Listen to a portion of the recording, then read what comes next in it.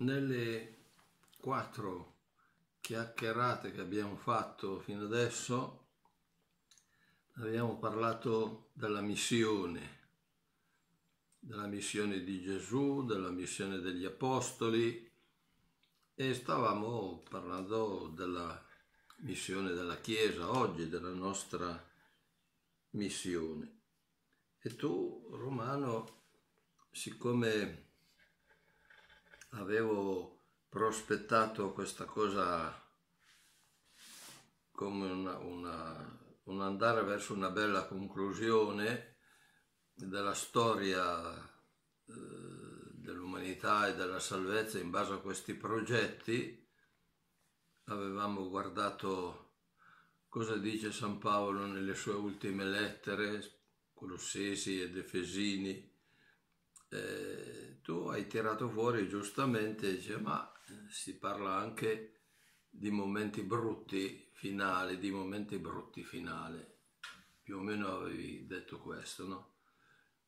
E allora ho detto, va bene, prima di continuare a, e finire di, di parlare della missione della Chiesa, guardando il concilio eh, la, i documenti del, del, Concilio, specialmente la Gaudium et Spes, la Chiesa e il mondo moderno, prima di fare quello vale la pena di domandarsi cosa succede su queste battute finali. Eh, io, a dirti la verità, su, su queste battute finali, in base a quello che dice la Bibbia, Ehm, non sono molto incline a ingrandire. Oggi tanti parlano di queste apostasie moderne, segnali moderni che le cose e che sarebbero le, gli ultimi exploit della, delle forze del male, ma io su quelle cose lì non, eh, non sono molto esperto e non sono molto convinto, anche perché a volte ci sono delle frasi che eh, si interpretano alla lettera eh, mentre invece mh, il significato non è quello. Per esempio, eh, il discorso di Gesù sulla fine del mondo. Eh, discorso escatologico lo chiamano, perché la parola escatologia viene dal greco che vuol dire le ultime cose. La, una volta si diceva i novissimi noi altri, era il latino, navissimus vuol dire l'ultimo, proprio quello più nuovo vuol dire l'ultimo. E poi adesso invece si, si, accetta la parola greca escata, le ultime cose, e deve fuori questa parola sull'escatologia. Gesù ha parlato di queste cose, per esempio nel Vangelo di Matteo, capitolo 24.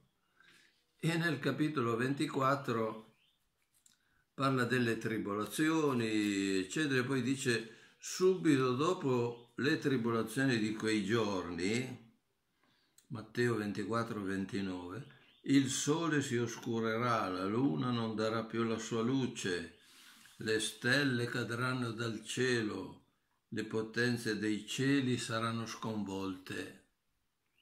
Ecco, queste frasi qui eh, sono interpretate alla lettera come se veramente il sole dovesse oscurarsi, le stelle cadere, cioè, poi quando arriva qualche terremoto si dice ecco qui siamo alla fine.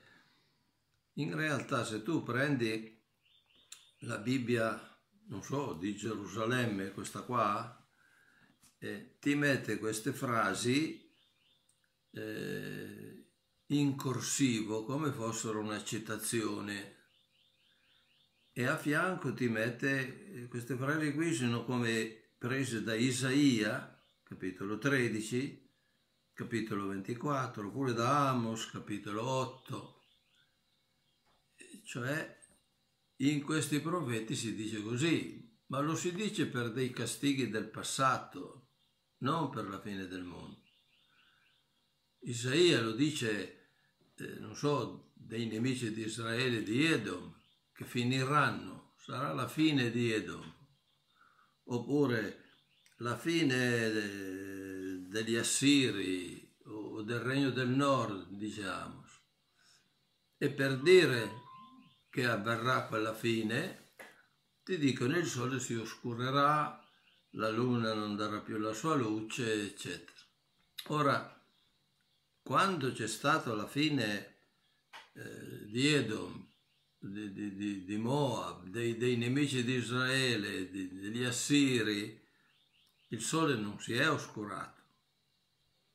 La luna non è che ha smesso di dare la sua luce. E quindi eh, non vanno interpretate alla lettera queste cose qui, ma vanno interpretate su, su su certe epoche che finiscono. Il giorno di quando il figlio dell'uomo verrà, vanno interpretate ogni volta che c'è un cambio di epoca, ecco che arriva questo castigo di Dio, eccetera. Allora non vanno prese alla lettera e mi sembra che bisogna correggere questa, questa mentalità. E pensando a queste cose, a me è venuto in mente di, tu avevi guardato questo mio libro, Il tempo della fine, dove io ho fatto un articolo che, che accenna a queste cose e che spiega come vanno interpretate queste, queste idee, via, che ci sono. Eh, intanto io nell'ultimo articolo di questo libro, eh, corollario sull'escatologia e sull'ecologia, ho detto che eh, per noi cristiani eh, c'è un certo discorso su, su della provvidenza, di Dio che guida la storia, la storia della salvezza. E ho citato un certo Pannenberg, che è un teologo protestante. Io ho la sua la, la sintesi, secondo me, è, è uno dei migliori perché ha veramente la sintesi completa dopo aver scritto tanti articoli, ma eh, in uno di questi articoli che aveva scritto, Antropologia in prospettiva teologica, eh, descriveva come dobbiamo concepire questa storia dell'umanità secondo il progetto di Dio. Eh, un progetto che nella lettera agli Efesini, nella lettera ai Colossesi, eh, eh, o ho ricordato, San Paolo dice che Cristo è quello per mezzo del quale, in vista del quale è stato creato tutto, oppure eh, Cristo è quello che è venuto per eh, mettere insieme tutte le cose, per ordinare tutte le cose sotto di lui come capo. E quindi, eh, ed è in base a questo progetto che dice, ma c'è anche qualcosa, qualche guaio che succede, come, come tanti dicono, eccetera. Eh, io ti leggo, poi se non va bene eh, lo tagli. In questa cornice e partendo dal presupposto che solo l'uomo, grazie alla sua eccentricità è capace di vedere il, il, collegamento degli eventi in una catena logica, eccentricità vuol dire tutte le altre creature non capiscono, non si pongono neanche il problema, dove andiamo a finire, come av- deve avvenire, invece l'uomo tra tutte le creature è quello a cui Dio ha dato il cervello, la luce per capire e per domandarsi dove andiamo, come finiamo. Allora, eh, l'uomo, grazie alla sua eccentricità, cerca il significato della storia, tenendo anche presenti considerazioni e risultati di pensatori che prescindono da Dio. Questo fa Pannenberg. Senza il quale Dio, però, la storia non è pienamente comprensibile. Evidentemente ci sono gli atei che dicono non si capisce niente. E noi invece che abbiamo la fede, è anche giusto dire, beh, allora come la dobbiamo concepire questa storia, questa finale della storia. Continuo, è difficile infatti capire il disegno che ogni uomo scopre nella sua vita e nella sua umanità un disegno che è al di là delle sue stesse forze e capacità.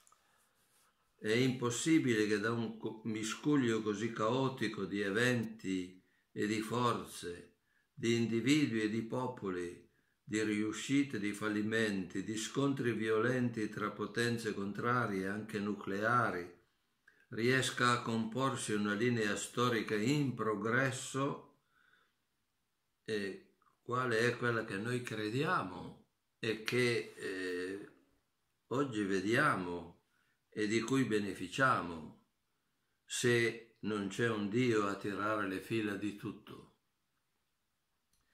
Attraverso tutti questi eventi il singolo e l'umanità si integrano e hanno la possibilità di formarsi, di crescere, di progredire materialmente e spiritualmente anche il male in tale cornice ha la sua spiegazione. Questa è la eh, maniera di concepire la storia come progetto di Dio.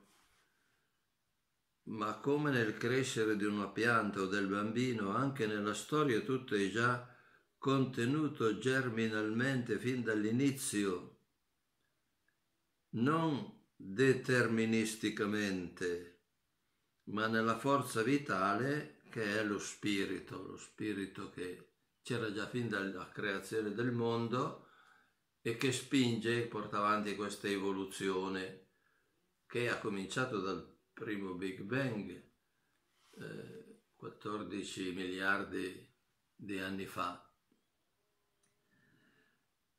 Se viene superata la vecchia distinzione tra natura e sopranatura, il messaggio biblico sullo spirito, quello infuso in Adamo, quello che aleggia su tutta la creazione e quello ottenutoci dalla morte e risurrezione del nuovo Adamo che è Gesù, si rivela come la forza prodigiosa che fa gemere tutti gli esseri portandoli verso la realizzazione piena del progetto di Dio, come dice San Paolo nel capitolo 8 dalla lettera ai Romani.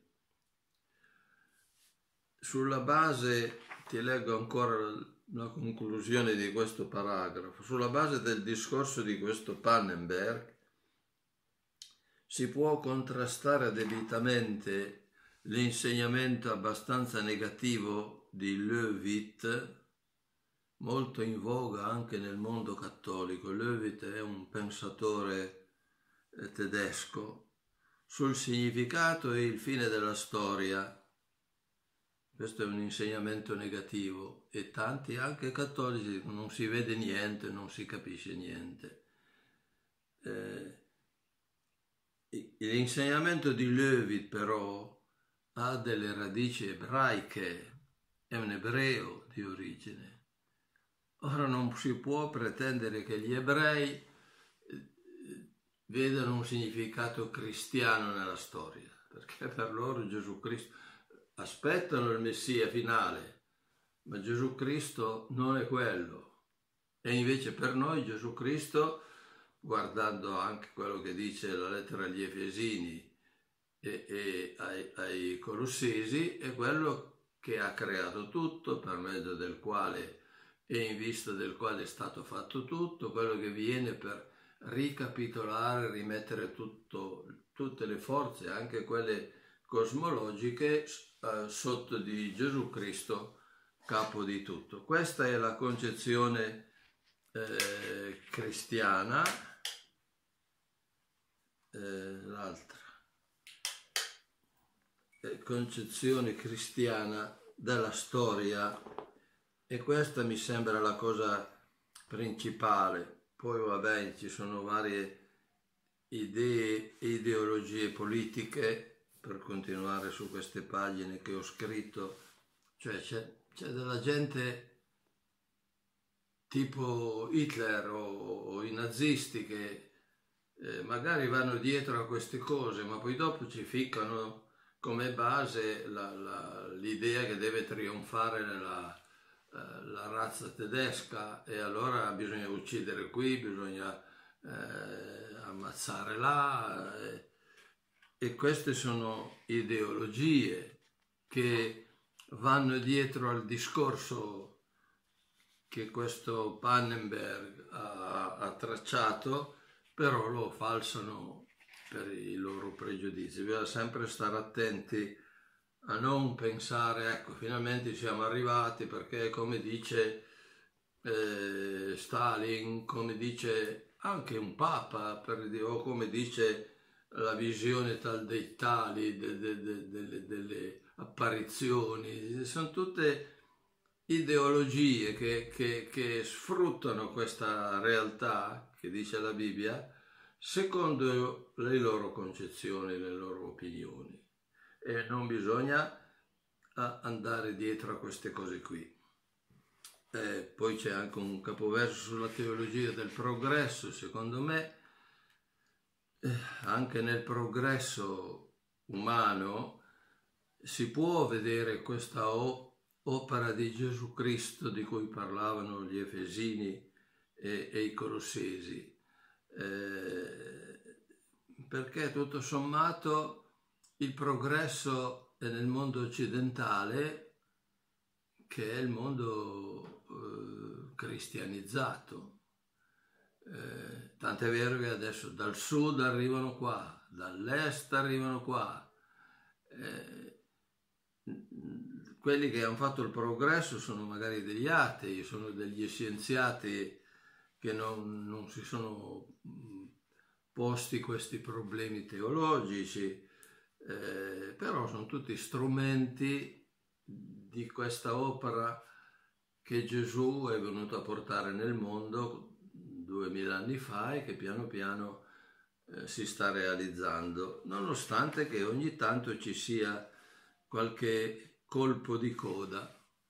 Adesso poi nelle pagine successive faccio vedere eh, vari testi tipo quello lì che vi ho detto all'inizio che si trova in Matteo 24 versetto 29 sul sole che non dà più la sua luce ma ce ne sono altri. Per esempio passa la figura di questo mondo prima Corinti 7:31 oppure San Pietro, seconda let- la seconda lettera di San Pietro, capitolo 3, versetto 7, e, e, e, scompaiono i cieli, si incendiano i cieli, eccetera. Probabilmente San Pietro lì eh, lascia impressa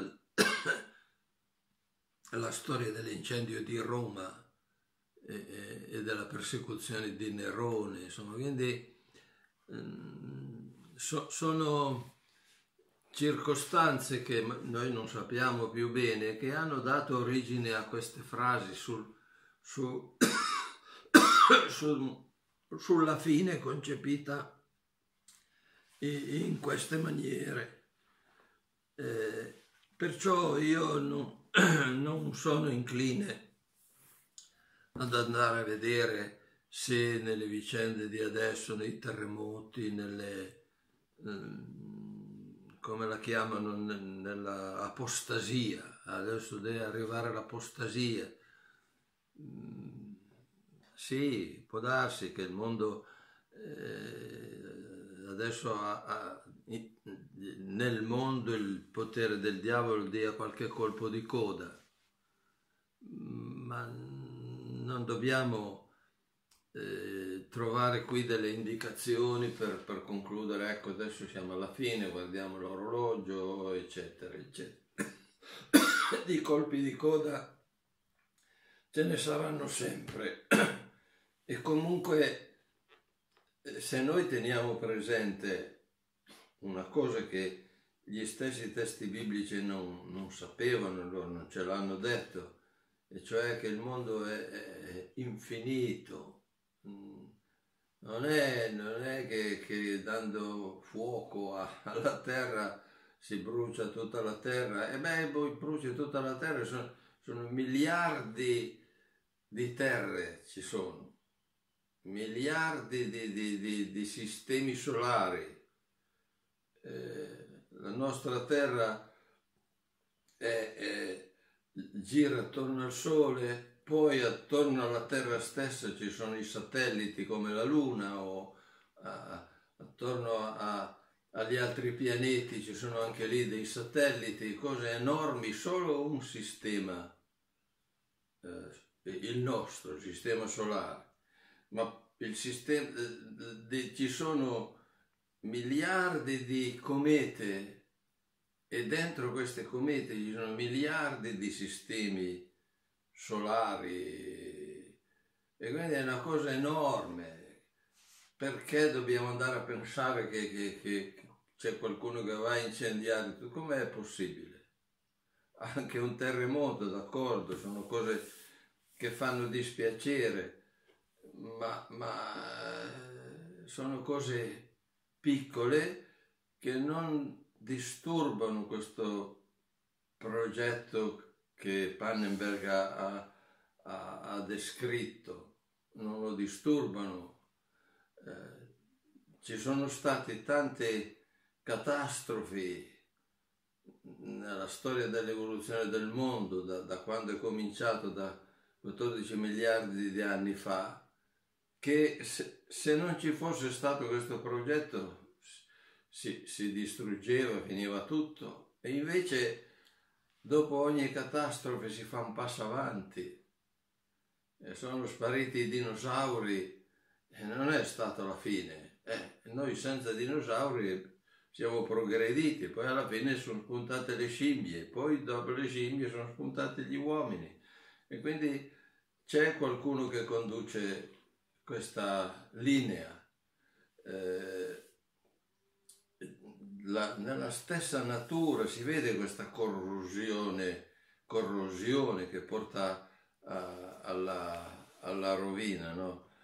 eh, come la chiamano, la legge dell'entropia, cioè ogni organismo si corrompe, eh, però non puoi dire che il mondo si corrompe, perché sono 14 miliardi di anni che questo mondo si sviluppa secondo delle leggi molto belle, con delle catastrofi finché vuoi, però se noi guardiamo, noi altri che possiamo ragionare con la testa, diciamo no, qui c'è una, un progetto di Dio. E questo progetto è nelle mani di questo Gesù in base a quello che la nostra fede ci dice, che era Dio, eh, ha creato tutto lui, poi è venuto nel mondo per eh, fare eh, liberare il mondo dalle potenze del male e realizzare questo progetto sull'umanità.